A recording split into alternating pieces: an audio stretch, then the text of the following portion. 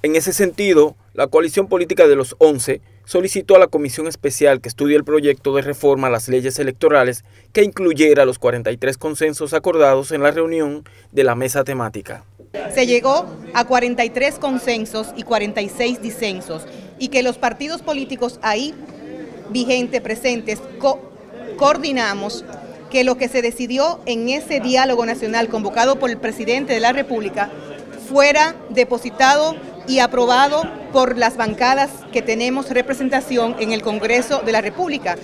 Manuel Crespo, delegado político ante la Junta Central Electoral por el partido Fuerza del Pueblo, acusó a la bancada PRMista de la violación de los acuerdos al que arribaron después de seis meses de trabajo, mientras que Danilo Díaz, delegado del PLD, acusa al gobierno de distraer a la población con la ley de fideicomiso. Nosotros fuimos lo más sorprendidos por esa aprobación al vapor del Senado de la República que está encabezado mayoritariamente por el Partido Revolucionario Moderno, el partido de gobierno, que dicho sea de paso,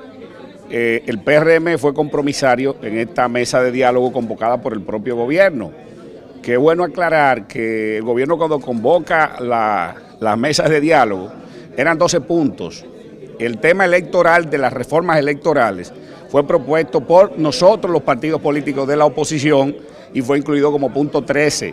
y que dicho sea de paso fue la única mesa que terminó su trabajo luego de seis largos meses de discusión. Sino que lo que vimos fue el interés del gobierno de manera apresurada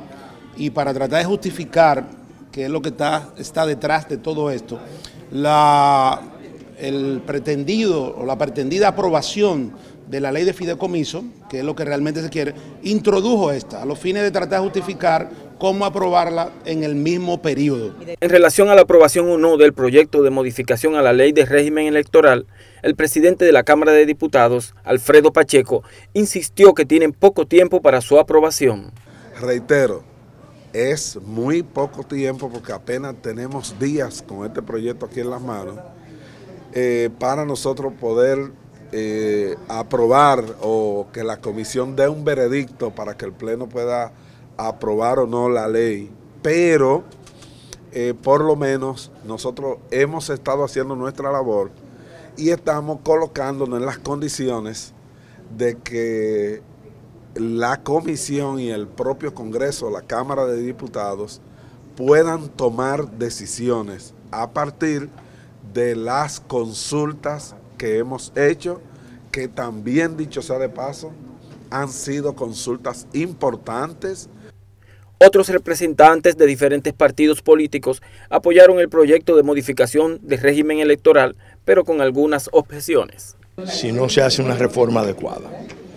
si no se hace una reforma a fondo adecuada, esto puede terminar con el derrumbe del sistema de partido. Eh, estamos proponiendo una cantidad de iniciativas, todas viables, con un objetivo muy claro,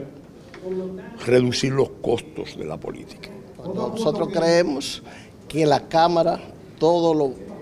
diputados de todos los partidos, tenemos el interés de que se avance y estaremos trabajando las horas que sean necesarias para lograr. Si el tiempo no da para conocer la ley, por lo compleja que es, entonces esperaremos que se llegue el momento. El proyecto del, del Senado de la República, depositado en la Cámara de Diputados, no satisface ni de lejos las necesidades reales de nuestro sistema electoral.